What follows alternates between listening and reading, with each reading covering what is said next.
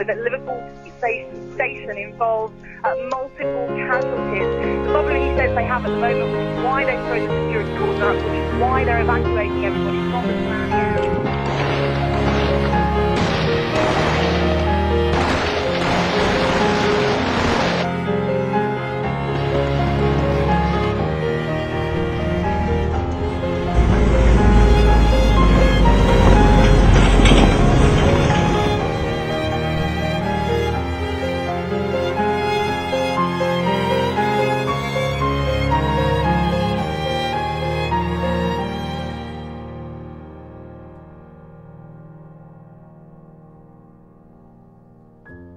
Side there of those buildings um, crumbling and some completely destroyed, repeated over and over again.